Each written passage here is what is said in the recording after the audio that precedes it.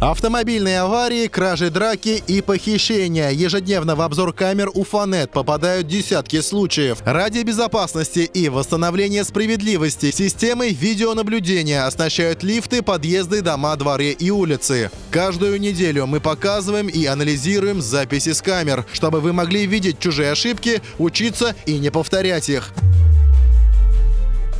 Этот таксист остановился на перекрестке двух уфимских улиц. Автомобиль некоторое время стоял, а затем к нему подъехало другое такси. Оттуда вышел водитель, вытащил пассажира из первой машины и стал наносить удары рукой и ногой. К нему присоединился коллега по работе. Как сообщили в пресс-службе МВД по Башкирии, парень с девушкой познакомились в одном из баров. Они вызвали такси, но до места назначения не доехали. По предварительным данным, во время поездки у водителя возник конфликт э, с нетрезвым пассажиром. Клиент ударил шофера, и э, таксист попытался высадить агрессивного э, клиента. В этот конфликт вмешалась также пассажирка и э, водитель проезжающего э, мимо такси. Участников инцидента сотрудники полиции доставили в отдел полиции номер 4 города Уфы. Таксист э, обратился в органы внутренних дел с заявлением о привлечении пассажира к установленной законом ответственности за причинение телесных повреждений, а клиентка от каких-либо каких претензий на данный момент отказалась. Сейчас проводится проверка для установления обстоятельств э, этого происшествия. В Уфе водитель фуры попал в непростую ситуацию. Его грузовая машина никак не могла заехать на заснеженный подъем, ведущий к торговому центру. На записях с камер Уфанет видно, что за 15 минут дальнобойщик не смог сдвинуться ни на метр. Но неожиданно на помощь пришел водитель внедорожника. Он взял на буксир большой груз и помог подняться по заснеженной дороге. Однако это удалось только с третьей попытки. Водитель внедорожника дотянул фуру до самого торгового центра. В этом Ишимбайском дворе стоят десятки машин, но молодой человек целенаправленно идет к одной из них. Оглядевшись по сторонам, он кидает в лобовое стекло автомобиля какой-то тяжелый предмет. Стекло разбивается, срабатывает сигнализация. Неизвестный со всех ног убегает со двора. Известно, что автовладелец обратился с заявлением в полицию. Теперь им предстоит разыскать хулигана. В Уфе ВАЗовская десятка заглохла на дороге и перестала заводиться. Ее водитель заглянул под капот, но, скорее всего, не смог найти причину неисправности. Так машина простояла на морозе более часа, мешая другим участникам дорожного движения. Этот случай попал в обзор камер Уфанет. Судя по записи, на помощь автовладельцу отозвались инспекторы ДПС. Они остановили две полосы движения и дотолкали заглохшую машину до перекрестка, где водитель свернул на другую улицу. По всей вероятности, машину все же удалось завести с толкача. Махнул хвостом и убежал. Речь идет не о каком-либо животном, а о водителе из Нефтекамска. На повороте он задел прицепом припаркованный во дворе автомобиль и повредил его. По всей видимости, водитель не посчитал нужным остаться на месте ДТП и уехал. В этом же дворе он чуть не задел еще две машины, стоявшие возле подъезда. Сейчас его разыскивают сотрудники ГИБДД. Такого же лихача камерой видеонаблюдения запечатлели и в Уфе. Он врезался в автомобиль, припаркованный перед домом, и скрылся с места ДТП. Как сообщили в ГИБДД, по Уфе в настоящее время личность водителя устанавливается. Мужчина, шатаясь, заходит в лифт уфимской многоэтажки. Вероятнее всего, он одурманен зеленым змеем. На первый взгляд кажется, что пассажир лифта еле стоит на ногах и вот-вот упадет. Он даже прислоняется к стенке кабины, чтобы хоть как-то удержаться в вертикальном положении. Однако мужчина благополучно доезжает до первого этажа. Там его внимание привлекает горшок с пальмой, который он хватает и выходит из подъезда. На улице человек, еле стоявший на ногах, ногах превращается в спринтера и бросается бежать в неизвестном направлении. Куда он так заторопился, стоит только догадываться. Тем временем жители дома сразу обнаружили пропажу и обратились в полицию. Благодаря записям с камер и бдительности жильцов воришку удалось найти, а пальму вернуть.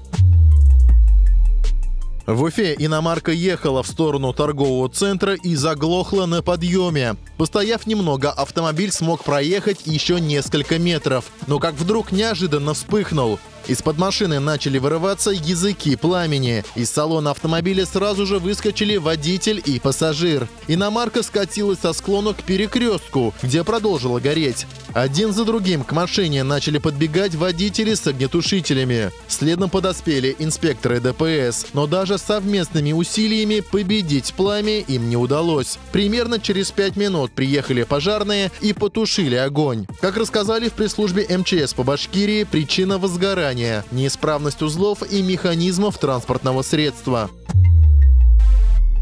Если вы стали свидетелями каких-либо событий, запомните время и место и напишите нам. Мы постараемся найти этот момент на видео и показать. Также присылайте свои видео с камер наблюдения.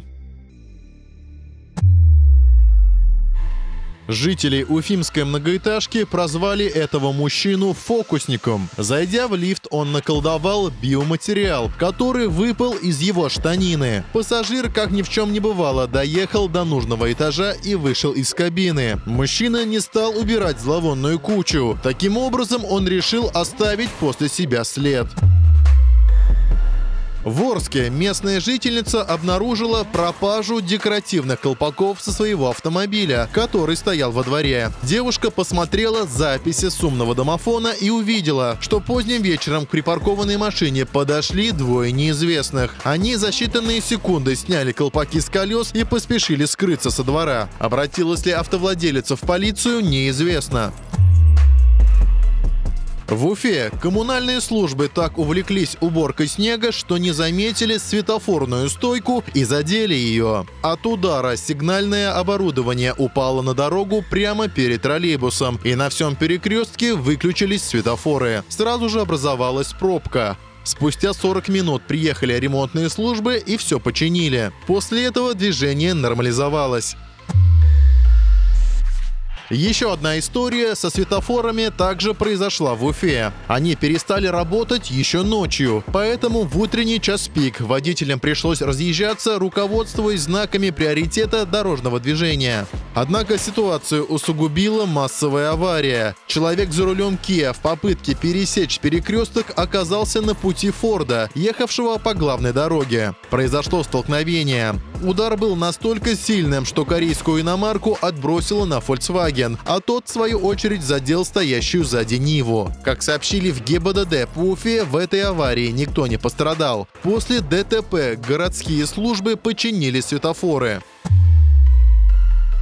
Эти мужчины с бутылкой крепкого алкоголя и одноразовыми стаканчиками, скорее всего, хотели хорошо провести время. Для застолья они выбрали один из уфимских подъездов. Сначала они долго стояли у двери, а потом решили открыть ее силой. Но стеклянная дверь, по всей видимости, не выдержала столь грубого обращения и разбилась. Мужчины, увидев, что они натворили, быстро ушли. Наверное, решили распить алкоголь в другом подъезде. В Ишимбае ранним утром, когда жители города еще только собирались на работу, неизвестный решил угнать автомобиль. Его выбор пал на ВАЗ 9 модели, припаркованной во дворе. На записях с умного домофона компании Уфанет видно, как человек в маске и перчатках подходит к автомобилю. Он достает что-то из кармана и открывает багажник. Через него вор залезает в салон.